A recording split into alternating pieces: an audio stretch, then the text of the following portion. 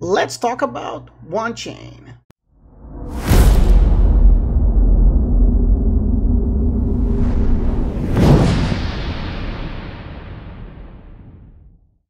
What's up guys? Stefan here. Welcome to Altcoin Picks.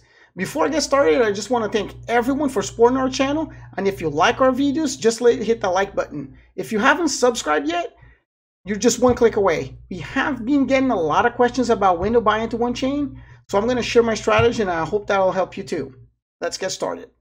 So I just want to make sure that everyone watching the content of this video was intended to help anyone that already has some understanding of the cryptocurrency market. And that I can't stress enough how important it is to do your own research. And that the content shared in our channel is to educate and for those that enjoy the crypto space and want to understand how others approach a new coin that get listed in the market. So let's begin. So Wanchain token sale happened last year on October and they were able to raise $36 million and each token was valued at 34 cents when ETH Ethereum was worth around $300 actually precisely $294 and it's been a few months already and the market actually went up and then it went down and Wanchain listed just last week and it, it when it hit the market it actually hit the market at 15 times ICO and it actually has dipped a little bit.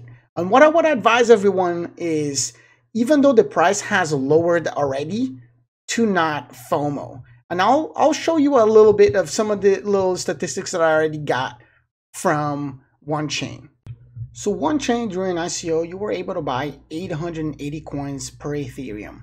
And now, even though Ethereum price has increased, you can only purchase 134 coins with the same Ethereum.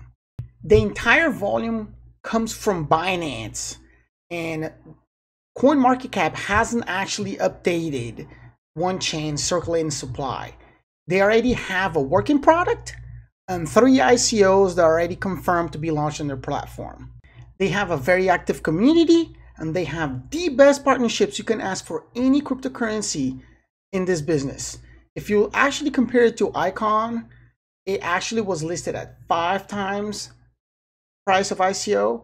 And right before the bull market to its peak, it was actually trading for almost 100 times ICO value. And Wanchain that has a much smaller supply and it didn't even have actually was listed only hit 15 times ICO. Something else you actually also need to consider was that Wanchain was being sold over the counter in between $2.50 and as high as $4.50 before it being listed on Binance.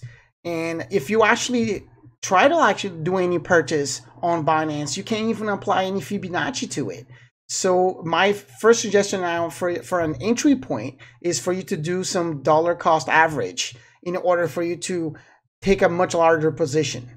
So now we're actually on Binance, and if you take a look at the first day it was listed, some someone actually probably had some fat fingers and pressed a market order, or he actually just wanted to grab Wanchain, didn't care for the price, and he was someone purchased it for eighty thousand Sats. But that doesn't give you a lot of information because it's actually the price is actually moving quite steadily sideways. So I'm gonna I'm actually gonna do the following. I I already allocated some funds to invest on Wanchain. And with that fund, with that specific fund, I already invested 10% of that position at 45,000 sats. I will keep incrementally purchasing an extra 10% for every 5,000 sats it drops. So whenever it hits a 40k sats, I will purchase another 10, 10%. And if it actually hits 35,000 sats, I'll purchase 20%. If it actually goes below 20,000 sats, which I which I doubt, I will purchase 30%. If the volume remains steady for the next 2-3 weeks, I'll expect that Wanchain will be in between $2 and $3 since we're not in a bull market anymore. And then if the price of Bitcoin remains in the channel, I think the prices of Wanchain will also hold. If the prices of Bitcoin breaks down, I will wait for the reversal so that I can place a longer term position trade on Wanchain. Assuming that the coin doesn't dip, I'll actually take a different approach. I will wait for the price of Wanchain volume to increase. Right now, it's actually sitting at the number 28 on Binance. So if it starts hitting back to around the top 20, I will just purchase 10%. If it actually raises much higher to, let's say, for example, top 10, I'll place another position, maybe 20%. And then if it's really being really heavily traded, I will just join in on the trade, place a position, and then sell off incrementally and hope for the dip. And I will have 30% remaining for my entire position so I can purchase maybe a possible last dip or maybe place trades throughout the cycles if I actually purchase it too high or too or something happens with the market and I will have at least some extra funds so I can apply it to Wanchain. So uh, that's it for you guys, for, for us guys. I hope that helps.